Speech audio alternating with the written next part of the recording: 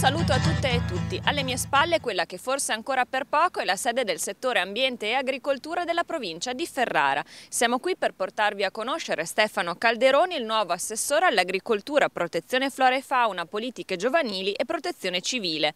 Ve lo avevamo introdotto nella prima puntata, oggi torniamo da lui per capire quale sarà il destino di questo stabile e di quel che rappresenta. Calderoni è uno dei più giovani assessori della provincia, ma la sua esperienza politica è quasi decennale.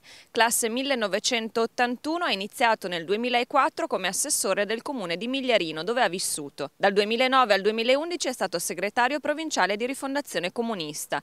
Oggi, laureato in sociologia del lavoro, sta ancora studiando per la seconda laurea in management e gestione delle risorse umane. Il poco tempo libero che gli rimane lo dedica alle sue passioni sportive, la pallavolo, la corsa e la bicicletta.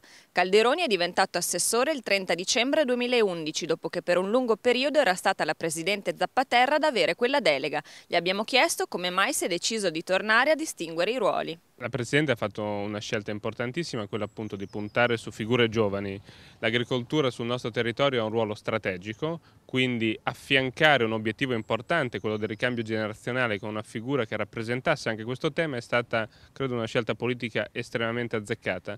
Speriamo insomma, che con l'impegno e con la passione di poter dare i risultati auspicati. Sembra più una punizione che una premiazione questa eh, di questo assessorato in questo momento di grande rivoluzione per le province quali sono gli attuali sviluppi? La Regione Emilia-Romagna ha eh, istituito una commissione di valutazione per la redistribuzione delle funzioni, quindi ancora di certezze non ve ne sono. La Regione non può pensare che il tema, un tema importante come quello dell'agricoltura, venga deciso magari in qualche buia stanza lontano dal territorio dove i problemi esistono. Quali sono le competenze che rimarranno eventualmente alla provincia e quali andranno alla Regione? Anche qui continuiamo ad interrogarci Ovviamente la richiesta è che rimangano le stesse competenze, quindi anche quelle di programmazione, ovviamente anche per quanto riguarda i fondi strutturali. La Regione oggi si sta impegnando e si è attivata per trovare la quadra nel giro di pochi mesi. Speriamo di avere notizie certe da potervi dare anche a voi e ai nostri agricoltori. Quando termina il mandato dell'attuale giunta provinciale ferrarese? Fino a qualche mese fa sembravamo a scadenza un po' come i prodotti alimentari. Ora effettivamente pare che l'obiettivo sia quello di portare le giunte a fine mandato e poi si vedrà che cosa succederà. Noi comunque abbiamo ancora due anni importanti di lavoro, non vogliamo deludere le aspettative, certamente questi non saranno due anni pensati e immaginati come chi non vede una prospettiva. Qual è l'esperienza in campo agricolo di Stefano Calderoni? Com'è finito in questa avventura? Ma eh, io provengo da una famiglia di contadini, sono sempre stato molto orgoglioso delle mie origini, eh, credo che i valori che c'erano anche all'interno delle nostre comunità rurali siano valori importantissimi che dobbiamo in un qualche modo trasferire. Eh, e quindi credo che questo forse sia più un elemento anche affettivo che mi ha spinto a immaginarmi e la Presidente a immaginarmi in questo, in questo ruolo. Cerchiamo di riassumere in tre parole chiave gli obiettivi di questo mandato. Giovani, semplificazione e impresa.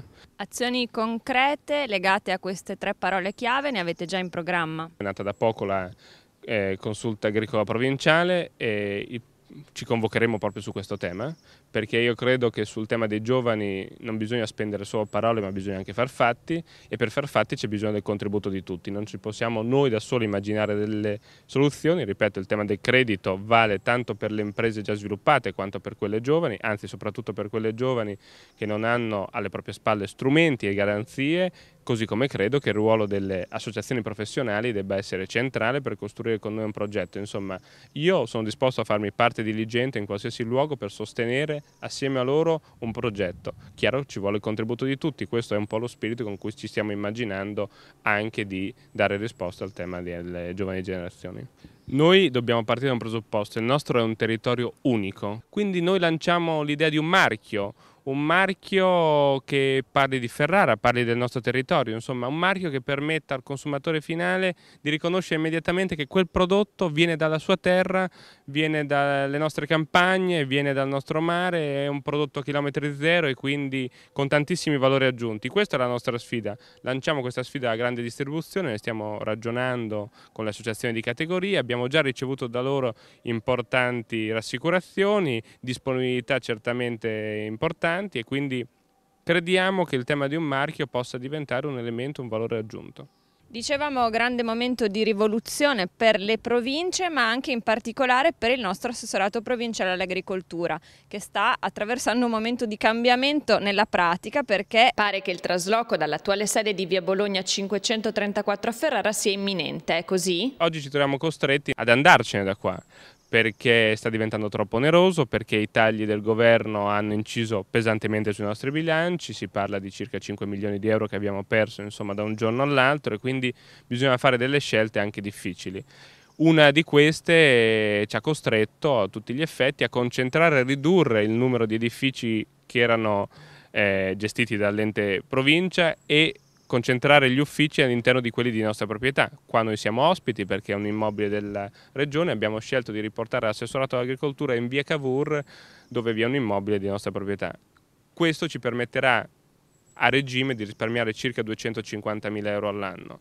Chiaramente sappiamo e siamo consapevoli che questo determinerà o potrà determinare anche un disservizio inizialmente. Crediamo che a regime comunque riusciremo ad abituare le persone ai nuovi spazi, ai nuovi luoghi. Certo che faremo di tutto per rendere quello spazio, quello di Via Cavour, assolutamente accessibile, quindi garantendo parcheggi per chi deve accedere ai nostri sportelli, ai nostri uffici. Grazie all'assessore Calderoni e i nostri auguri in bocca al lupo per questo mandato. Grazie, grazie a voi.